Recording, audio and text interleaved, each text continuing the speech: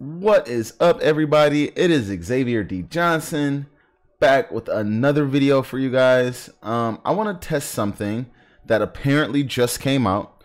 Shout out to my bro TJ Null. He's the one who pushed us through. Apparently, he worked with Kali Linux, the Kali Linux team, and actually uh, got this added. So what we want to do is do sudo because I don't run a single user mode. Um, we're going to do app install PowerShell. And I think that you should be able to get PowerShell and PowerShell Preview. And if so, this is super, super cool because if you know, like I know, when you're doing a penetration test and you don't have a, a, a Linux, uh, excuse me, a Windows host, it gets kind of hard to make the perfect payloads, right? So if this is a thing, oh my God, things like the OSCP um, get just a little bit easier. All right.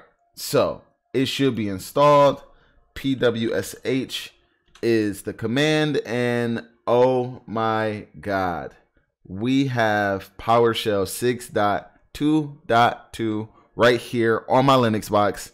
This is amazing. I might actually start using PowerShell, right? This is so cool.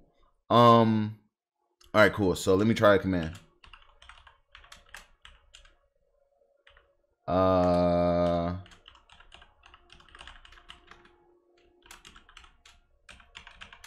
right?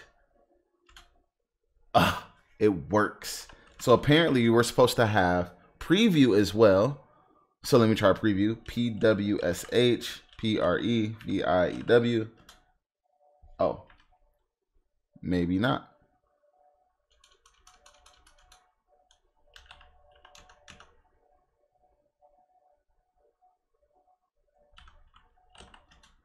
No, we don't. But maybe we can get no, no, no, no. We just don't. We don't. Not yet. But you know what we do have? PowerShell. you know what we can do? Run commands on PowerShell. It's amazing. Super exciting. Just wanted to kind of make a quick video about that. I I'm starting to love Kali Linux more and more. It is so versatile. I still won't use it as my everyday operating system. I don't love it that much.